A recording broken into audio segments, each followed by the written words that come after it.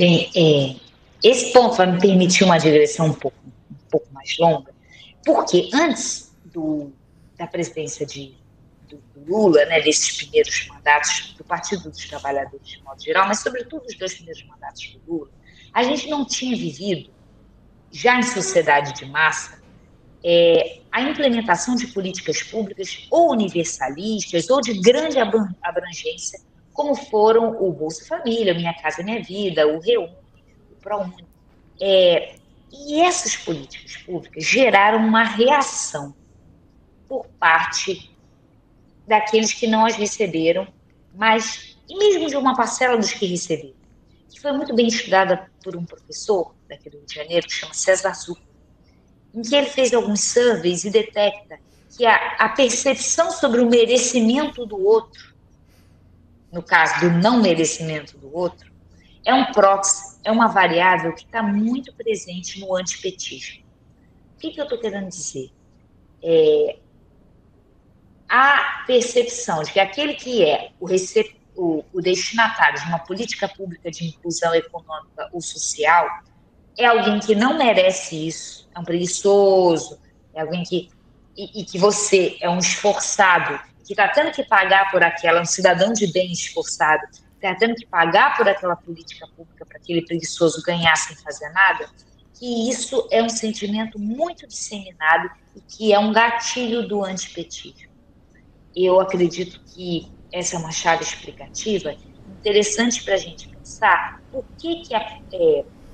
por exemplo, políticas públicas orientadas economicamente ou que têm esse perfil mais distributivista têm um impacto muito grande na população até dois salários mínimos,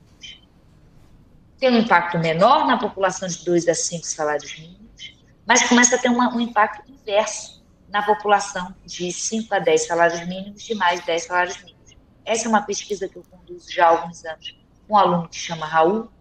Raul Paiva, e a gente observa como nos estratos mais ricos você tem uma certa hegemonia do antipetismo nas intenções de voto, mas também nas pesquisas de aprovação do governo. Muitas vezes a gente fica assim, ah, os evangélicos isso, os evangélicos aquilo, mas a diferença em termos de aprovação do governo, mesmo em termos de intenção de voto, era muito análoga a quando a gente isola os 5 a 10 salários mínimos, principalmente o mais 10 salários mínimos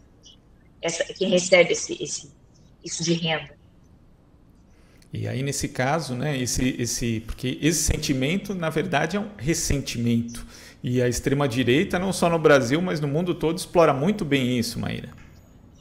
Perfeito. É, essa pesquisa do Zucco, ela utiliza categorias que já foram testadas internacionalmente e que estão, sim, atreladas ao ressentimento, essa ideia de que a extrema-direita se aproveita e aí no caso internacional, de uma camada média que se ressente de não ter é, a mesma receptividade e entrada que a classe média tradicional, a classe média mais intelectual, intelectualizada tem nos grandes espaços, ou se ressente da modernização que reduziu seus postos de trabalho e acaba sendo mais capturada por discursos, discursos extremistas de direita.